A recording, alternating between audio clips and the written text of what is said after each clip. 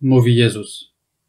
Moje dzieci w Panu, święto oczyszczenia jest już bardzo bliskie i ja, światłość świata, posyłam was, przygotowanych poprzez konieczne minimum, aby dobrze je uczcić. To pierwsze światło święta, z którego zaczerpnięcie światłość dla wszystkich innych.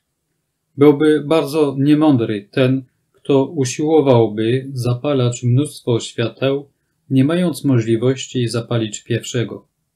Jeszcze bardziej niemądry byłby człowiek, który sądziłby, że może zacząć swe uświęcenie od rzeczy najtrudniejszych, lekceważąc to, co jest fundamentem niezmiennej budowli doskonałości, dekalog.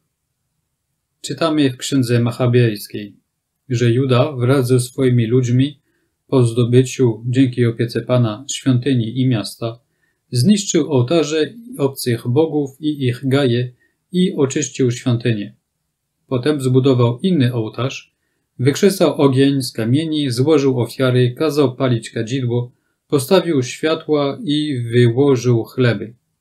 Potem upadł całym ciałem na ziemię, błagał Pana, by już nigdy nie pozwolił im popaść w taki grzech, a gdyby w słabości na nowo zgrzeszyli, żeby byli traktowani z miłosierdziem boskim. I to zdarzyło się 25 dnia miesiąca Kislew. Zastanówmy się i zastosujmy to opowiadanie do nas samych, bo każde słowo historii Izraela, czyli narodu wybranego, ma sens duchowy. Życie jest zawsze pouczeniem. Życie Izraela jest pouczeniem nie tylko dla dni ziemskich, ale także dla zdobycia dni wiecznych. Zniszczyli ołtarze i święte gaje pogańskie. To jest pierwsze działanie. Wskazałem wam wykonanie go, nazywając pojedynczych bogów zastępujących Boga prawdziwego. Bałwochwalstwo zmysłów, złota, piechy, grzechów głównych, które prowadzą do znieważania, śmierci duszy i ciała, do kary Bożej. Nie przytłoczyłem was niezliczonymi przepisami, które teraz uciskają wiernych i tworzą szaniec dla prawdziwego prawa, obciążonego ukrytego pod całymi stosami zakazów całkowicie zewnętrznych.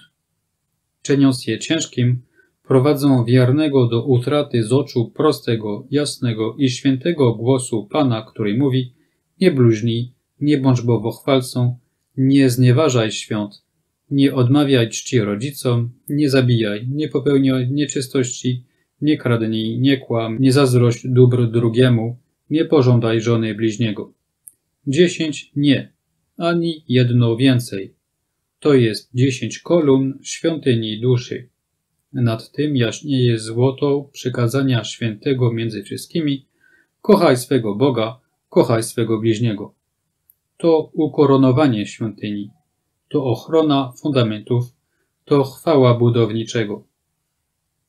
Bez miłości nikt nie mógłby być posłusznym dziesięciu przykazaniom i kolumny przewróciłyby się, wszystkie lub niektóre, a świątynia zawaliłaby się całkowicie lub częściowo. Ale w każdym razie pozostałyby tylko ruiny i nie można by już przyjąć Najświętszego. Czyńcie to, co wam powiedziałem, zwalczając trzy porządliwości. Nazwijcie szczerze wasz grzech – jak Bóg wyraźnie mówi wam, nie czyńcie tego i tego.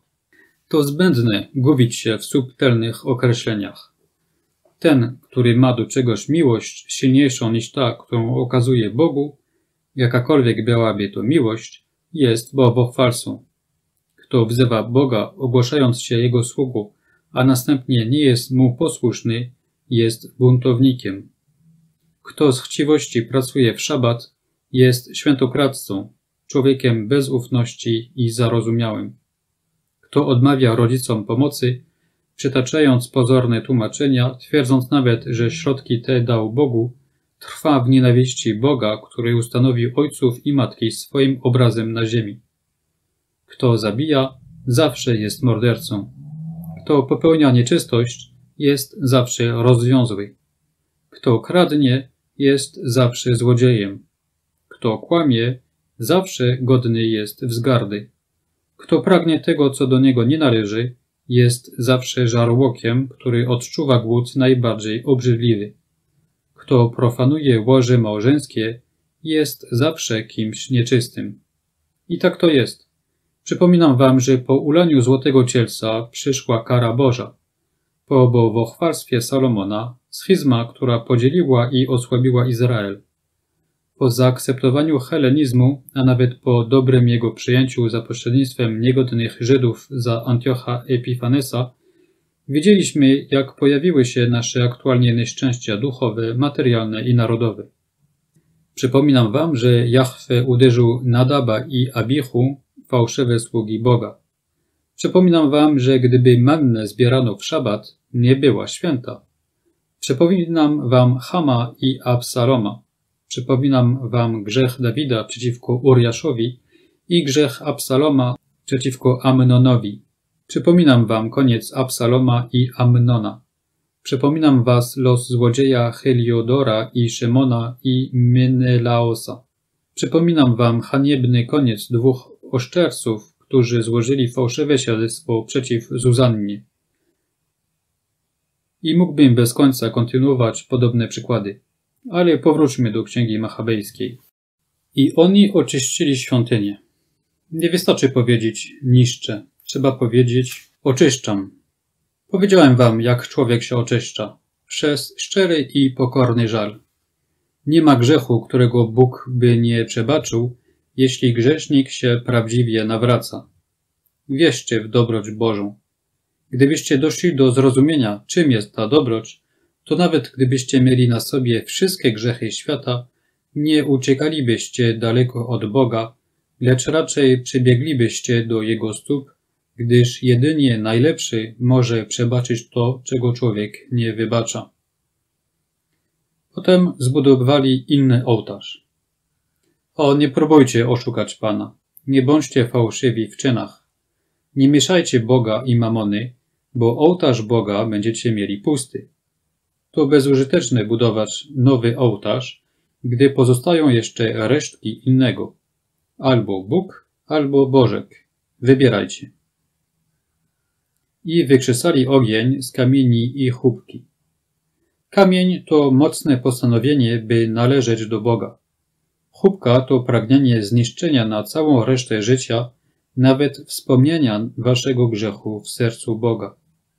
I to wtedy dopiero rozpala się ogień miłość. Bo cóż robi syn, aby przez całe uczciwe życie pocieszać ojca, którego obraził? Kocha ojca, chcąc, by radował się synem, tym, który wcześniej był przyczyną łez, a teraz radości. W tym stanie możecie już złożyć ofiary, zapalić kadzidło, przynieść światło i chleb. Ofiary nie będą obrzydliwe dla Boga i miłe mu też będą modlitwy. Ołtarz będzie naprawdę oświetlony, bogaty w pokarm waszej codziennej ofiary. Będziecie mogli się modlić mówiąc, bądź nam obrońcą, gdyż On będzie waszym przyjacielem. Ale Jego miłosierdzie nie czekało, aż zawołacie o litość. On uprzedził wasze pragnienie i zesłał miłosierdzie, aby wam powiedzieć, miejcie nadzieję, mówię wam, Bóg wam przebacza, przyjdźcie do Pana. Jest już ołtarz pośród was, ołtarz nowy. Z niego tryskają rzeki światła i przebaczenia. One rozszerzają się jak oliwa, leczą, dają siły. Wieście w słowo, które pochodzi od niego. Płaćcie ze mną nad waszymi grzechami. Jak Lewita prowadzi chór, tak ja kieruję wasze głosy ku Bogu i nie jest odrzucany wasz głos, jeśli łączy się z moim wołaniem. Ja, barat ludzi uniżony przez ciało i syn ojca przez ducha, mówię za was i z wami, z głębokości, w którą wpadłem, wołam do ciebie, panie. Usłysz głos tego, który patrzy na siebie i wzdycha. Nie zamykaj twoich uszu na moje słowa.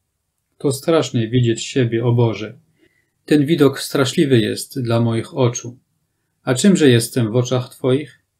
Nie patrz na moje winy, Panie, bo inaczej nie będę mógł stać przed Tobą, ale okaż mi swe miłosierdzie. Powiedziałeś, jestem miłosierdziem, a ja wierzę w Twoje słowo. Moja dusza, zraniona i przygnębiona, powierza się Tobie. Ufam Twym obietnicom i od świtu aż do nocy, od młodości do starości, w Tobie będę pokładał nadzieję.